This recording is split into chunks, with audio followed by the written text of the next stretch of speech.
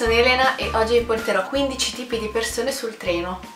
C'è quello che parla al telefono. Lui se ne sbatte che la gente sul treno voglia semplicemente farsi gli affari suoi. Lui no, lui deve far sapere a tutti. Ah sì sì perché io al lavoro ho fatto questo, ho fatto quell'altro, no no ma aspetta devi chiamare Tizio perché dobbiamo sistemare quel documento. Non ce ne frega niente, assolutamente nulla. Eppure passa tutto il viaggio in treno così a parlare al telefono del lavoro, di come stanno i figli. Non ci interessa. Poi c'è quello che si lamenta. Si sa che i treni sono sistematicamente in ritardo e a tutti dà fastidio. Ma lui è proprio quella persona che non fa altro che lamentarsi lamentarsi. Con tutte le persone che gli sono intorno inizia. E no, però non è possibile, sti treni sono sempre in ritardo. No, no, non è possibile, io faccio caso a tutti qui, io non pago più il biglietto. E passa i 20 minuti di ritardo del treno così a disturbare la gente di fianco a lui. Poi c'è quello che canticchia o che fischietta. Lui ha le sue belle cuffie nelle orecchie, neanche si rende conto probabilmente di far rumore, di canticchiare e di fischiettare la canzone che sta ascoltando. Oppure ha la musica talmente alta che anche se sei seduto 10 posti più lontano comunque sia tu lo senti. Poi c'è quello che non stacca gli occhi dal cellulare. Lui è proprio lo scrittore compulsivo che sta lì, proprio che lo vedi che è su WhatsApp, che messaggia alla velocità della luce, non sta fermo un secondo. Oppure se non sta messaggiando gioca a qualcosa tipo Candy Crush, Fruit Ninja, tutti quei giochini lì insomma. Però non alza lo sguardo dal telefono neanche un secondo.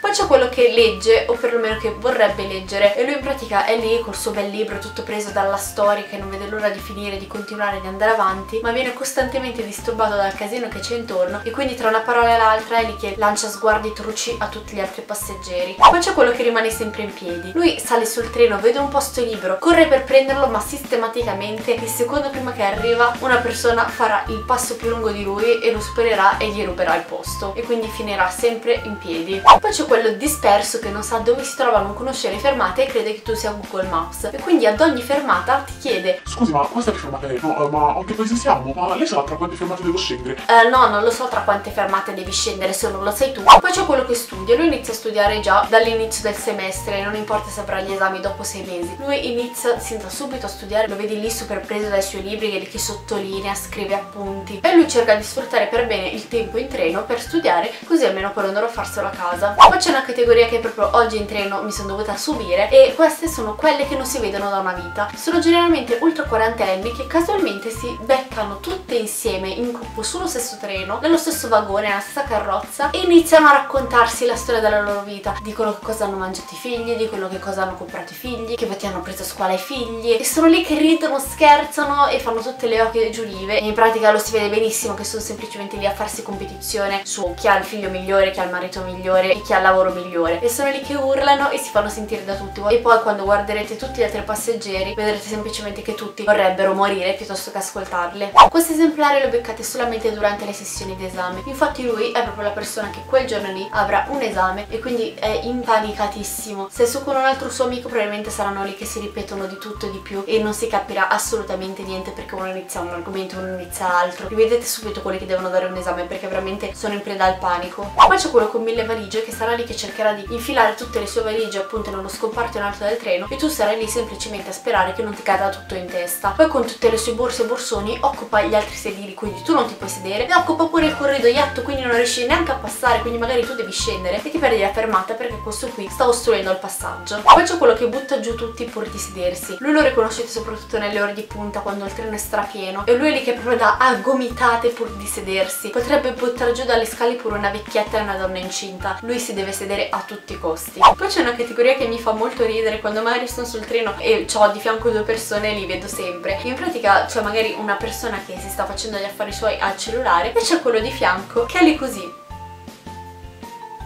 Che cerca di sbirciare tutto quello che fa l'altro. Lo faccio anch'io, lo fanno tutti perché siamo curiosi però vabbè. Poi ovviamente c'è la persona al cellulare che si sente osservata quindi fa per alzare lo sguardo e quello che lì così tipo subito si ritrae o fa finta di fare altro. E sono troppo divertenti da vedere perché sono lì proprio concentratissimi a cercare di non farsi beccare ma allo stesso tempo a cercare di vedere che cosa fanno gli altri. Però è veramente irritante quando tu ti trovi di fianco quello che sbircia perché eh, sei lì eh, scusa ma sono affari miei eh, non guardare infatti io cerco sempre di, di mettermi così in un angolino comunque di non farmi vedere perché mi dà veramente fastidio. Ma non perché abbia nulla da nascondere o faccia chissà che cosa ma semplicemente mi dà fastidio che la gente si metta lì a sbirciare i fatti miei cioè ma scusa boh Poi c'è il gruppo di amici, generalmente sono adolescenti un po' tamarri che salgono tutti in gruppo sul treno e iniziano a fare un casino in mani, magari mettono sulla musica manetta oppure iniziano a urlare quello che hanno combinato durante il weekend o tutti i fatti loro e tutte le altre persone sul treno devono subirsi questi ragazzini che cercano di farsi figli. E poi c'è quello che crede di essere in un film. Lui si mette le cuffiette nelle orecchie, si accascia contro il sedile, fronte sul finestrino e guarda fuori il paesaggio e passa tutto il viaggio con le canzoni triste nelle orecchie a guardare fuori e contemplare ciò che vede. Insomma, la classica scena da film dove uno si fa tutti i suoi viaggi mentali. Bene ragazzi, questo era 15 tipi di persone in treno, io spero che il video vi sia piaciuto, se è così lasciatemi un like e iscrivetevi al canale per non perdere i prossimi video e non le vi saluto, ciao!